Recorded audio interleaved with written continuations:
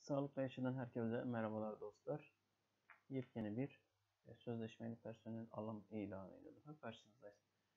Bu alımımızı Hatay Mustafa Kemal Paşa Üniversitesi Rektörlüğü yapıyor.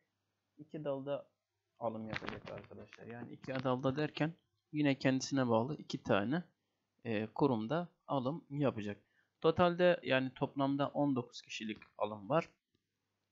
Bunlardan e, uygulama araştırma hastanesi başhekimliğine yani hastaneye e, 14 tane özür dilerim 17 tane ve 2 tane de veteriner sağlık uygulama araştırma merkezine olmak üzere 19 tane personel alımı yapacak. E, bu toplam 19 kişilik kadronun 3 tanesi eczane teknikeri, 10 tanesi radyoloji ve bir tane de burada var 11 tane radyoloji teknikeri olarak en fazla röntgen teknisyeni alıyor arkadaşlar. Bunun yanında bir tane patoloji teknikeri, bir tane laboratuvar teknikeri ve bir tane de e, özür dilerim 3 tane laboratuvar teknikeri ve bir tane de anestezi teknikeri alımı yapıyor. Dikkat edilecek, e, dikkat ettiğiniz bir nokta var mı bilmiyorum ama benim gözüme çarpan bir nokta bu alımda hemşire hiçbir şekilde almamış. Hepsi tekniker kadrosu e, şeklinde alım yapıyor. Şimdi sevgili dostlar e, bildiği gibi e, başvuruda aran genel şartlar vardır. Nedir bunlar? Vatandaş olmak, kamu haklarından mahrum olmamak, herhangi bir e, ceza yememiş olmak, cezai ehliyetin olmamış olması gerek. E, herhangi bir nöbet tutmasına engel bir durumun olmaması, erkekler için askerlik çağını ya da askerlikle ilişkisinin olmaması gerek gibi genel e, hükümler zaten vardır. Bu şartlar bütün sözleşmeli personel alımlarında vardır. Bunun dışında arkadaşlar e, 4B'li burası önemli. 4B'li sözleşme olarak istihdam edilenlere, hizmet sözleşmesi esas olan aykırılanlara e, tek taraf feshedilmesi halinde en az bir yıl geçmiş olmak. Yani arkadaşlar bir yıl öncesinden herhangi bir sözleşmeli personel kadrosundan istifa etmemişin olmanız gerekiyor. Burayı dikkatle tekrar ediyorum sözleşmeli kadrolardan diyor. Yani devlet memurluğunda kadroluysanız oradan e, istifa edersiniz. Herhangi bir sorun yok. E, bunun dışında bir de emeklilik ve yaşlılık aylığı almıyor olması gerekir. Bunun dışında arkadaşlar çok da bir e, özel şart yok. Yani birçok üniversite alımlarında aranan nitelikler kısmında birçok faktör e, veya belge veya e, sertifikan gibi e, şeyler istiyorlar ama burada hiçbir şekilde öyle bir durum yok. Sadece bu bölümle alakalı e, okulu bitirmiş olmanız yeterli oluyor.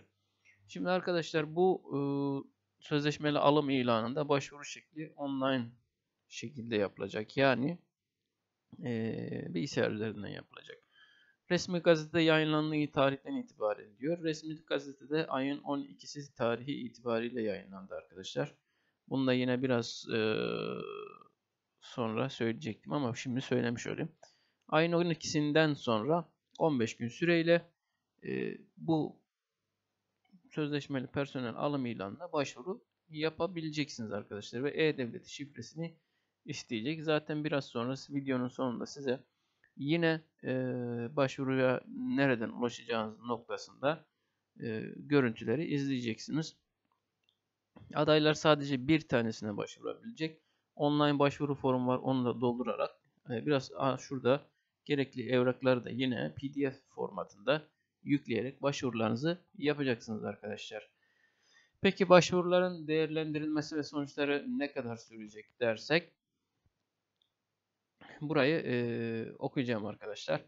Yerleştirme işlemlerinde ön lisans mezunlar için KPSS 93 puan türüne bakılarak değerlendirme yapılacaktır.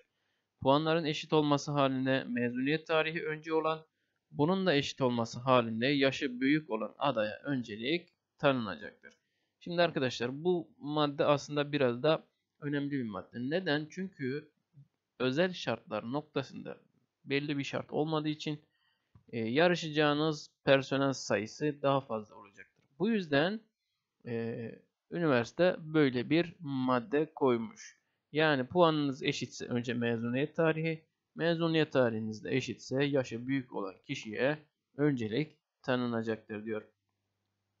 Evrakları teslim ettikten sonra da başvuru bitim tarihi itibariyle en geç 10 iş günü içerisinde web adresinden iyi yayınlanacaktır. Yani e, 10 iş günü arkadaşlar bunu e, belirtmek isterim. 10 gün değil 10 iş günü hafta sonlarını sayılmıyor.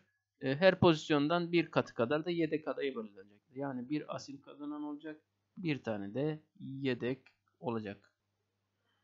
Bunun yaşında bunun yanında gerçeğe aykırı talepte bulunan veya sonradan e, istenilen e, şartları söz konusu değilse üniversite tek taraflı olarak sözleşmeyi feshedebilecektir ve hakkında yasal işlem başlatacaktır arkadaşlar. İstenen belgeler öğrenim belgesi yani diploma, KPSS sonuç belgesi, nüfus cüzdanı ve fotoğraf. Bunun yanında gerekli belgeler varsa yine arkadaşlar e, sonuçlar açıklandıktan sonraki e, yazıda zaten belirtiyor, belirtecektir üniversite şartları. Şimdi arkadaşlar toparlayacak olursak genel anlamda 19 kişilik kadroda bütün kadrolar tekniker kadrosunda e, bir alım söz konusu bu alımlarda. E, bunun yanında dediğimiz gibi 15 günlük bir başvuru süreci var. Başvurudan sonra 10 gün iş günü içerisinde de açıklama yapılacaktır. Sonuçlar açıklanacaktır. Şimdi e, şuraya gelmek istiyorum arkadaşlar. Bakınız burada başvuru yapmak için tıklayınız diyor e, Mustafa Kemal Üniversitesi'nin kendi adresine girdiğiniz zaman zaten göreceksiniz. Başvuru yapmak için tıklayınız dediğiniz zaman karşınıza zaten direkt bu sayfa çıkıyor ve e-devlet şifresini gördüğünüz gibi girerek buradan başvurular şartlarını gerekli şartları sağlıyorsunuz arkadaşlar. Beni dinlediğiniz için teşekkür ederim. Diğer videolarda görüşmek dileğiyle. Hoşçakalın.